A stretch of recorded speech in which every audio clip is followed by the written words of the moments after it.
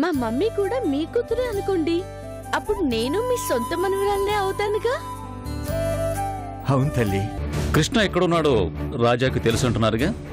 అది చాలు. కృష్ణని నేను తీసుకొస్తాను. నీ కోపం మీ అన్నయ్య మీదైతే శిక్ష నాకెందుకు కృష్ణ?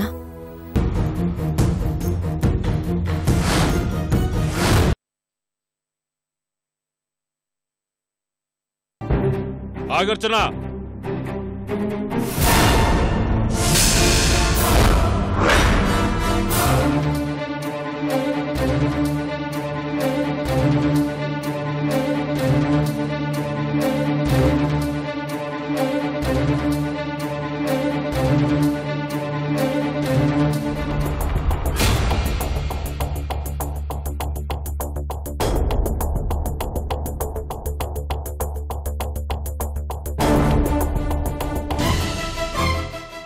ఎక్కడి నుంచి వస్తున్నావు?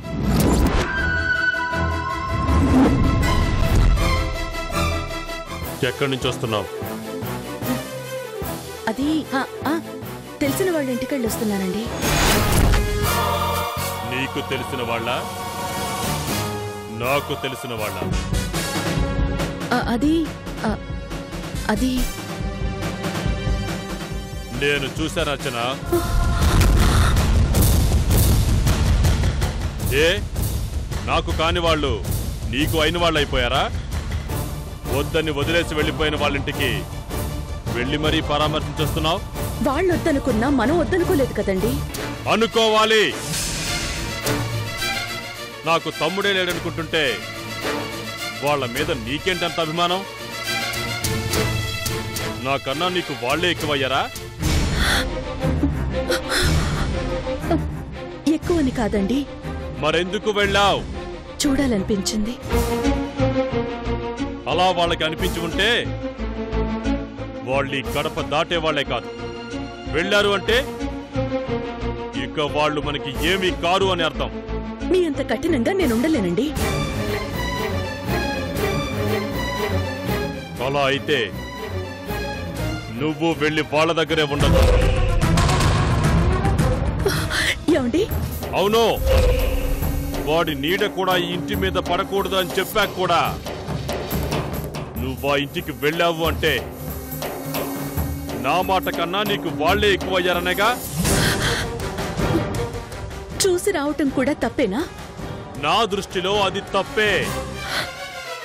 ఎంత కాదనుకున్నా తమ్ముడు కాకుండా పోతాడా? చూడొచ్చునా నేను కావాలి అనుకుంటే ఇక్కడుండు. నాకు లేని వాళ్ళు కూడా నీకు కావాలనుకుంటే ఇక్కడి నుంచి వెళ్ళిపోవచ్చు. ఏమండి? మీరేనా అలా మాట్లాడుతోంది? నేనే!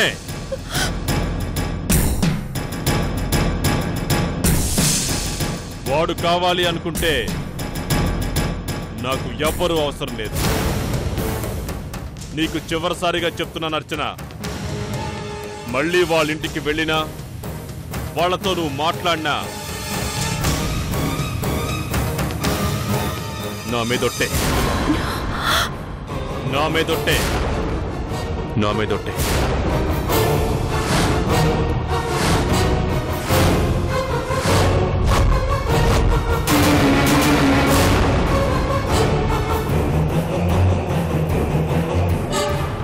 బాగా గుర్తుంచుకో.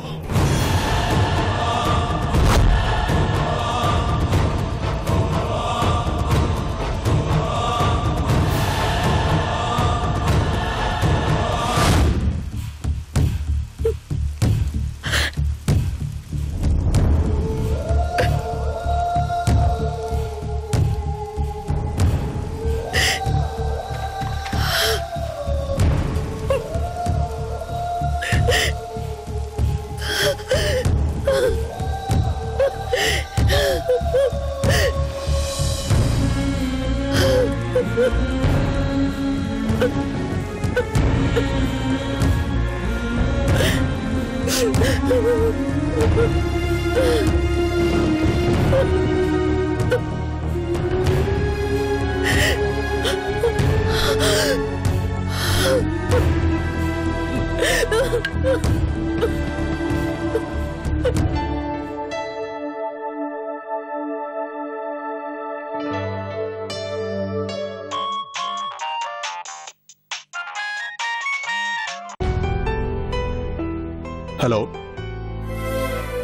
రాజా? ఏంటంకుల్ అలా ఉన్నారు? ఆనందంలో మాట బయటికి రానుంటుంది రాజా. అన్నయ్య మీద కోపంతో ఇంటికి దూరంగా వచ్చేసిన వదిన్ని వదిలేసి వచ్చేసామన్న బాధ అలా మమ్మల్ని బాధ పెడుతూనే ఉంది.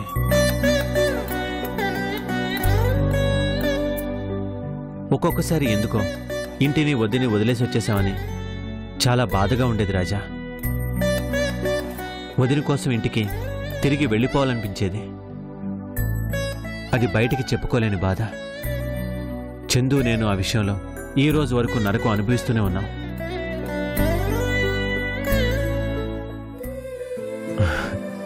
కానీ ఈరోజు మా వదిని చూశాక మాట్లాడాక ఎంతో సంతోషంగా ఉంది.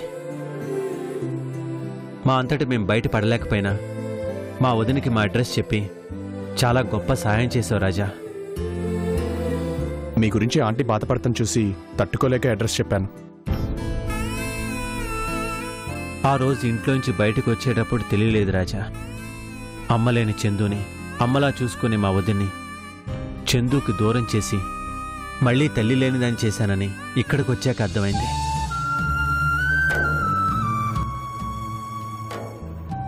మళ్ళీ మా వదిన్ని కలిసే అదృష్టం నీ వల్లే కలిగింది. నీకెలా థ్యాంక్స్ చెప్పాలో నాకు అర్థం కావడం లేదు రాజా. చాలా రోజుల తర్వాత సంతోషం మళ్ళీ మా మధ్యకొచ్చింది. ఈ సంతోషానికి కారణమైన నీకు జీవితాంతం రుణపడి ఉంటాను. Thank you very much bye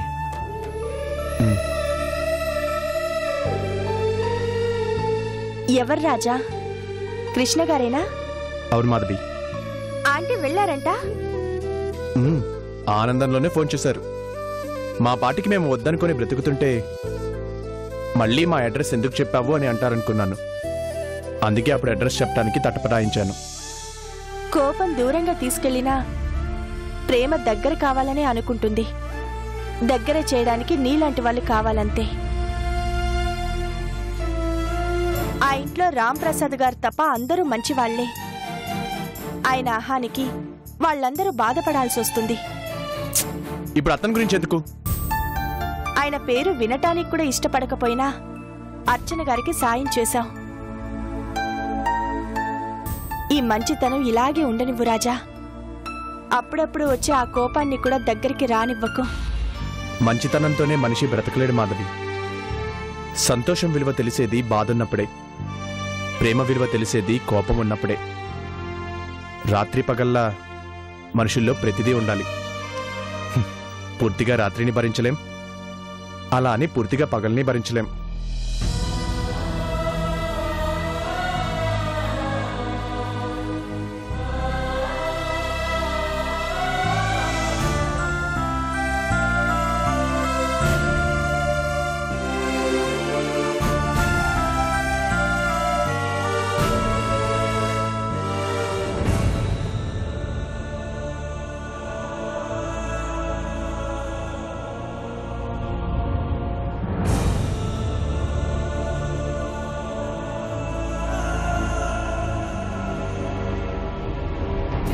నాకు కాని వాళ్ళు నీకైన వాళ్ళు అయిపోయారా మీ అంత కఠినంగా నేను ఉండలేనండి అలా అయితే నువ్వు వెళ్ళి వాళ్ళ దగ్గరే ఉండొచ్చు.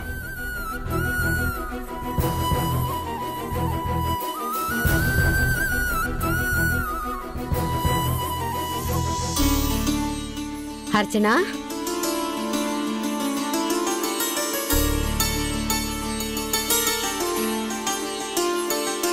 అర్చన? రెండుదినా కూర్చోండి.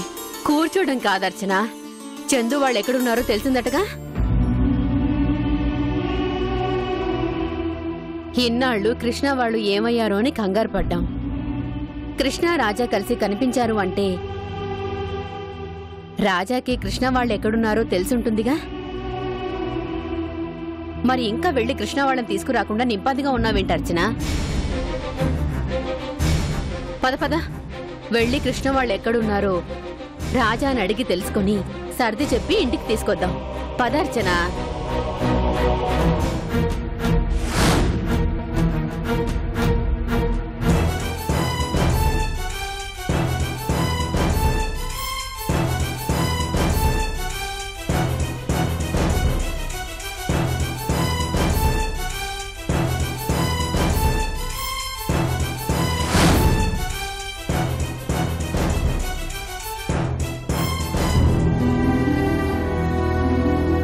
అన్నయ్య గారు బాగున్నారా? బాగున్నానమ్మా. కృష్ణ వాళ్ళ గురించి తెలిసింది. ఒకవేళ మీరు వెళ్ళినా రానంటాడేమో అన్నయ్య. ఒక రకంగా వాళ్ళు బయటికి వెళ్ళడానికి కారణం మేం కూడా కాబట్టి నేను మీతో వచ్చి సర్ది చెప్పి తీసుకొద్దామని వచ్చానన్నయ్య ఓ.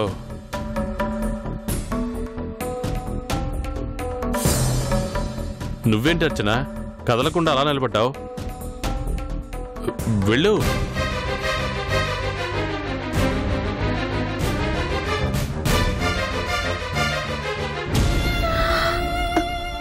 వాళ్ళు మనకు అవకాశం ఇవ్వలేదు వదినా. మీకన్నా ముందే ఆ ప్రయత్నం నేను చేశాను. కానీ వాళ్ళ గురించి మాకు తెలిసింది అనగానే మనం ఇలాంటి ప్రయత్నాలే చేస్తామని ఆ- ఇల్లు ఖాళీ చేసి వెళ్ళిపోయారట.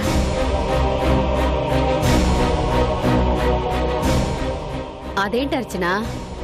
కృష్ణ ఇలా ఎందుకు చేస్తున్నాడు? శాశ్వతంగా మన మొహం చూడకూడదనుకుంటున్నాడా ఏంటి? అదే జరిగేలా ఉంది. మళ్ళీ కలిసే అవకాశం లేకుండా మా మధ్య లక్ష్మణ రేఖ గీశారు.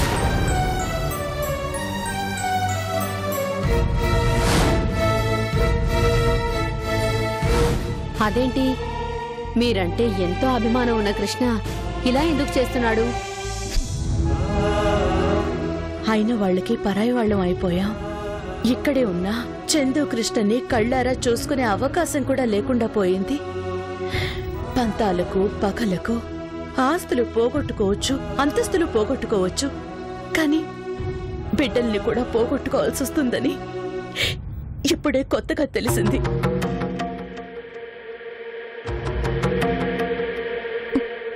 సారీ వదినా నేను రాలేను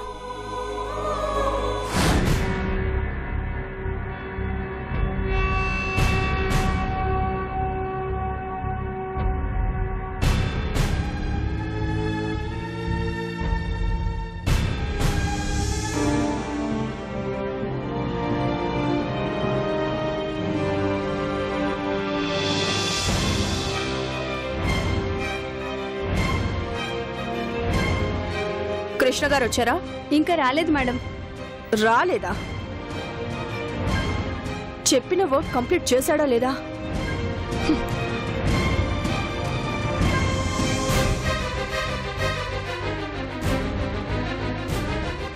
కూర్చోండి కూర్చోండి.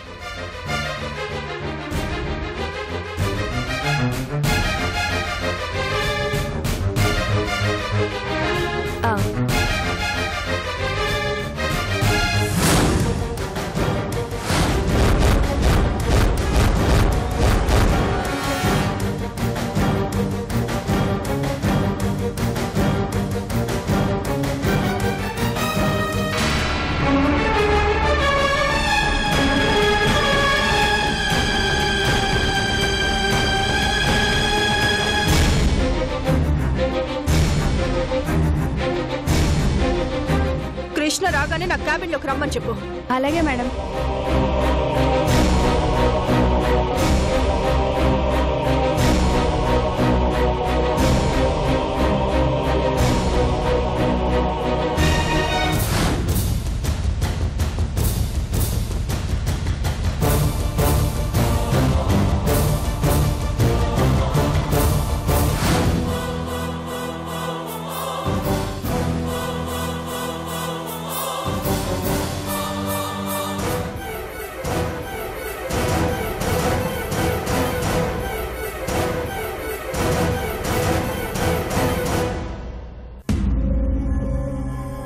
Morning madam.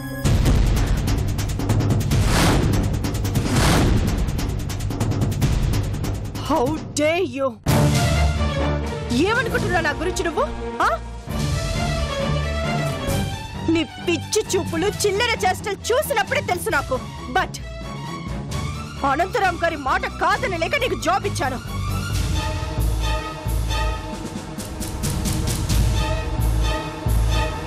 నేనేం చేశాను మేడం? ఏం చేసావా? వాట్ ఇస్ దిస్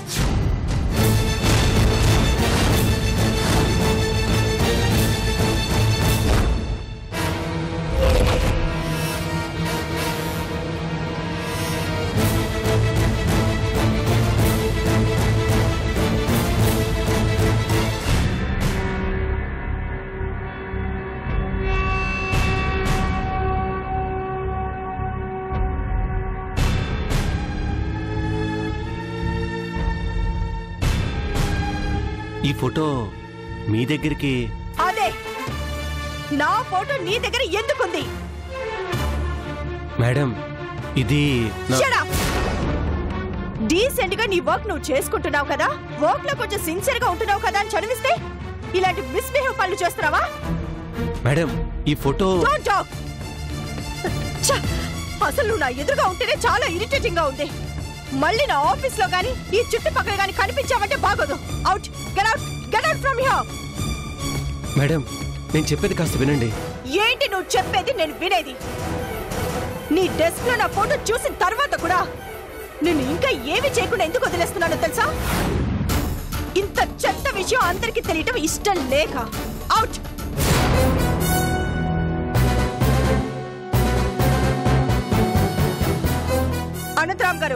నేను కృష్ణన్ జాబ్ లోంచి తీసేస్తున్నాను. అతని అకౌంట్ సెటిల్ చేసి పంపించేసేయండి. ఇంకా నిలబడ్డావే? I said get out from my office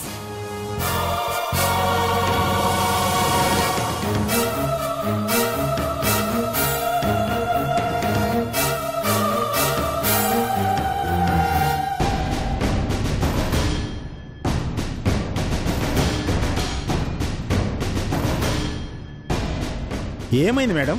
సడన్గా ఈ డెసిషన్ తీసుకున్నారేమిటి? పాపం మంచివాడు మేడం. అతన్ని పంపించేస్తే మనం ఒక మంచి వర్కర్ని పోగొట్టుకున్న వాళ్ళం అవుతాం. It's none of your business నేను చెప్పింది చేయడానికి మీరు ఇక్కడ ఉంది. అకౌంట్ సెటిల్ చేసి పంపించేయమన్నాను పంపించేసేయండి. That's all sorry madam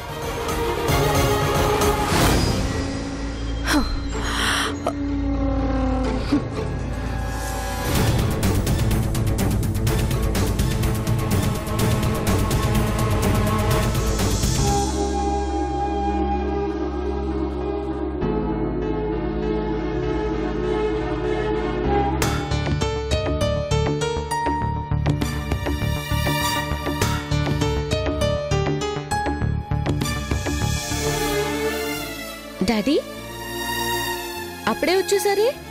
మీ ఎండి గారు ఈ మధ్య మరింత ఎర్లీగా కూడా పంపిస్తున్నారా?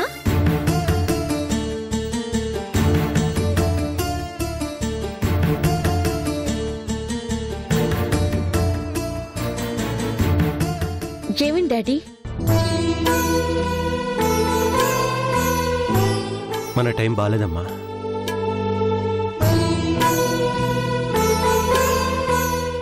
ఆస్తులు అంతస్తులు లేకపోయినా కష్టపడి బ్రతకొచ్చులే అనుకున్నాను. కానీ కష్టపడే అవకాశం కూడా ఉండట్లేదమ్మా. డాడీ?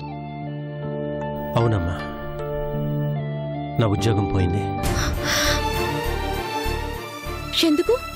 మీ మమ్మీ ఫోటో నా డెస్క్లో ఉన్నందుకు. మమ్మీ ఫోటో మీ డెస్క్లో ఉంటే వాళ్ళకి ప్రాబ్లం ఏంటంట? ఆ ఫోటో మీ మమ్మీది అనుకోవట్లేదమ్మా. జయంతి గారు ఆవిడ ఫోటో అనుకుంటుంది. మీరు చెప్పలేదా? చెప్పే అవకాశం నాకు ఇవ్వలేదమ్మా.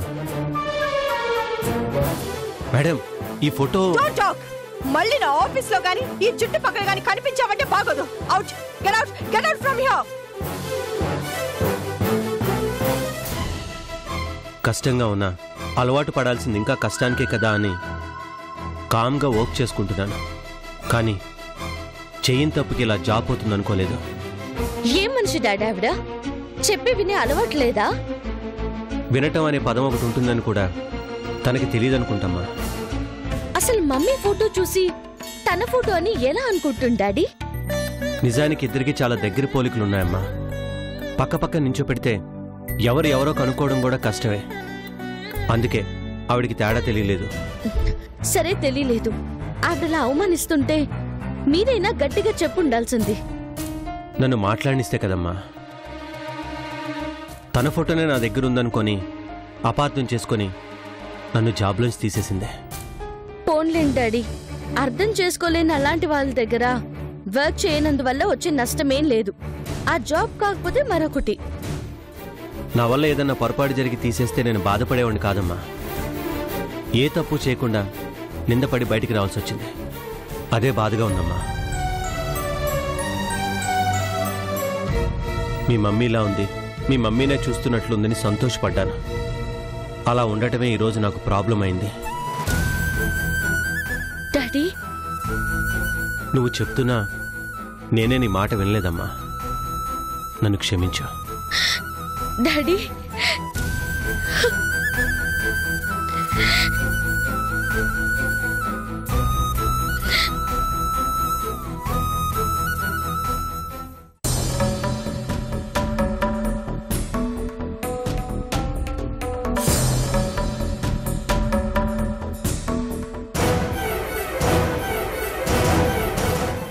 అదిగో మా మమ్మీ ఫోటో